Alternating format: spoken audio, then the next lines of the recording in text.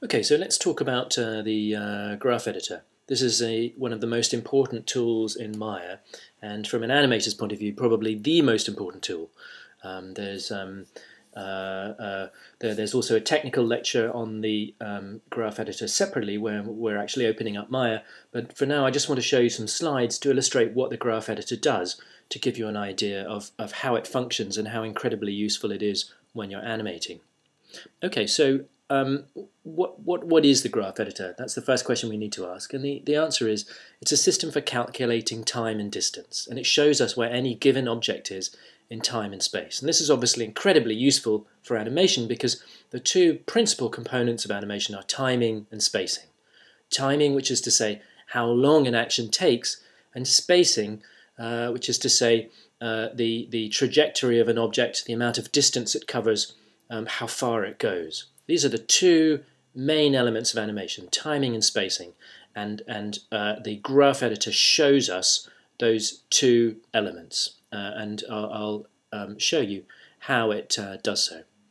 Okay, so let's take an example of a ball traveling in the x-axis. Now you'll remember um, from your maths at school, uh, the y-axis is the vertical axis and the x-axis is the horizontal axis. In Maya, because it's 3D, that is to say three dimensions, we've got one more axis, axis that's Z or Z if you're in the States, uh, and that's the axis that's coming, uh, the axis that's coming towards us. So that's 3D space. But in terms of the maths you did at school, Y is the vertical axis, H is the horizontal axis. So we're going to take an example of a ball going from screen uh, left to screen right. So screen right is where it's going to, this is where it's coming from, from left to right, from left to right, from left to right. Okay, I think you get the general idea. You need to, yes. Okay, so um, here's the graph editor, and here's a ball uh, uh, traveling from left to right. Now, what does this curve here, or this very flat curve, tell us about how the ball is traveling? And the answer is that this curve shows us that the ball is traveling in a uh, in, a, in a flat curve, which is to say there is no slow in or slow out, uh, there's no acceleration or deceleration, the ball is traveling at a completely constant speed. And it's traveling in the x-axis.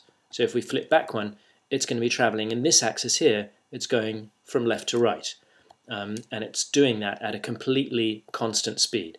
Now we can look at the y-axis here, which isn't doing anything, and the z-axis here, which also isn't doing anything. And that shows that the y values and the z values are not changing. Therefore, there's no change in, in y, there's no motion up and down, and there's motion, no motion coming towards us in z.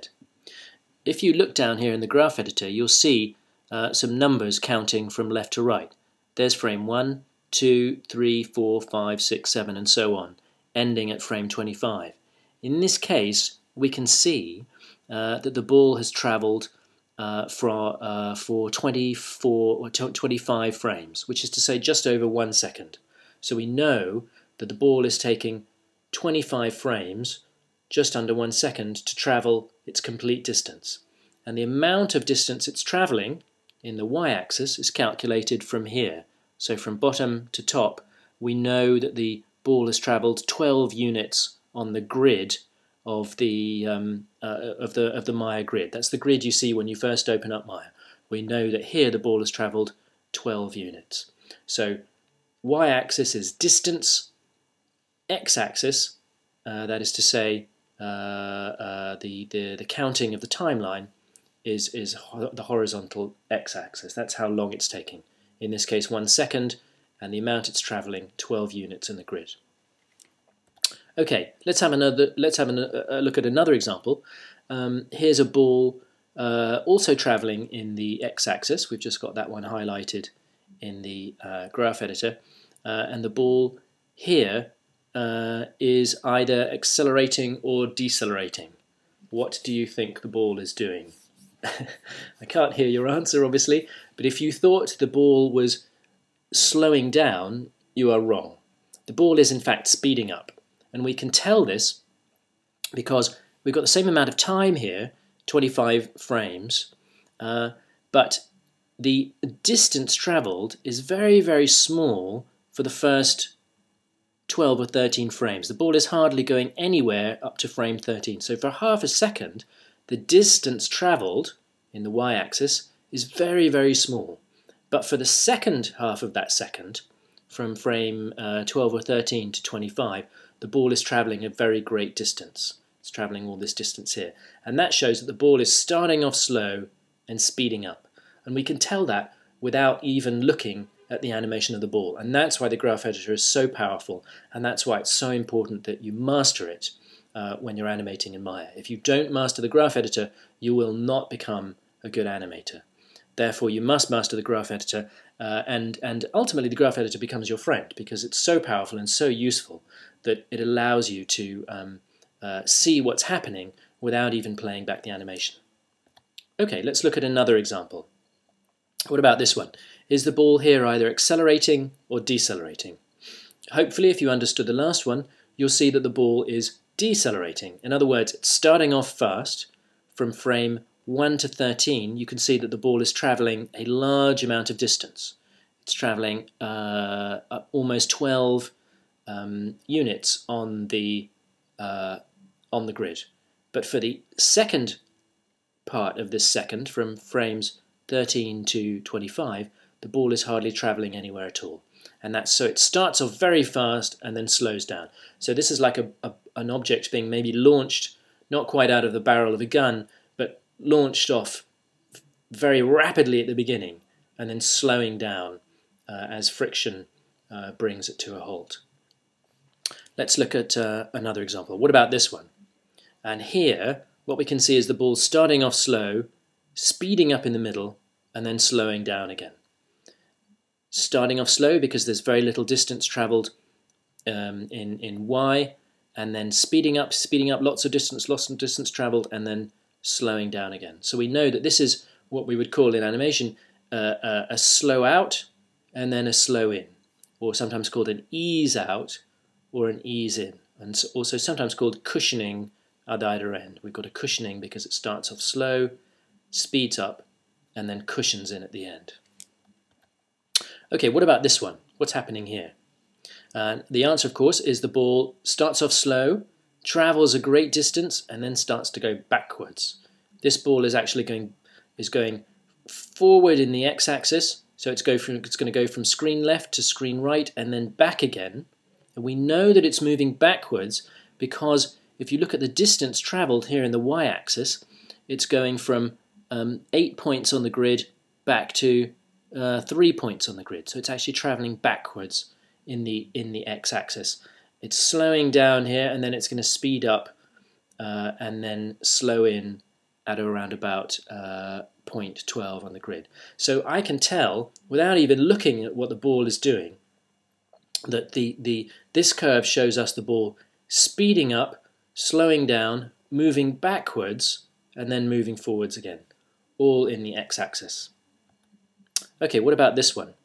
Okay, here the ball is on a stepped curve, and we'll, we'll, there's a separate lecture on, on stepped curves and spline curves in Maya, um, but a stepped curve is a, is a way of forcing the graph editor to show you a pose test.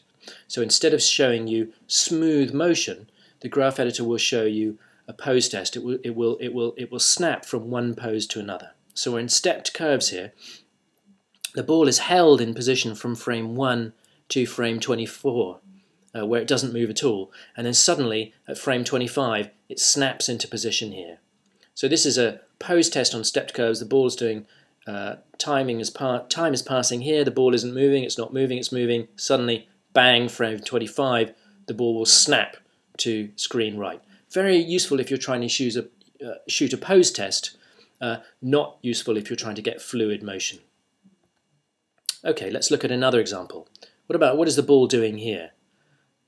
These, this is an example of what we call evil curves in, in Maya. These are really nasty, yucky curves. The ball, the ball starts off fast, slows down, speeds up again, goes back for no particular reason, goes back for no particular reason, overshoots, comes back again, and then speeds up. These are nasty curves. This will give you a disjointed staccato action. And again, it's why you need to focus so closely on what's going in in the graph editor because uh, you need to avoid this kind of curve showing up. Um, uh, and um, if you get evil curves in your graph editor, your animation is going to look nasty. So one of the jobs you have as an animator is to clean up your curves and make sure that you don't get evil curves. Uh, here's the same thing shown in, um, in, a, in a sort of 2D format, um, and these are some uh, drawings done by um, a friend of mine, uh, Sydney Padua, who is an incredibly talented animator um, and has done some wonderful work on many films where I've worked with her. And, and these, are, these are her drawings, and uh, she's showing here the difference between stepped curves, which are very good for blocking out a shot, especially if you want uh, uh, uh to shoot a pose test, um, and the difference between that and linear curves, which we won't do much of because you very rarely want to do linear curves in Maya.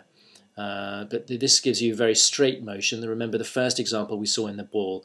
This would be this would be a very very straight, unnatural kind of uh, motion.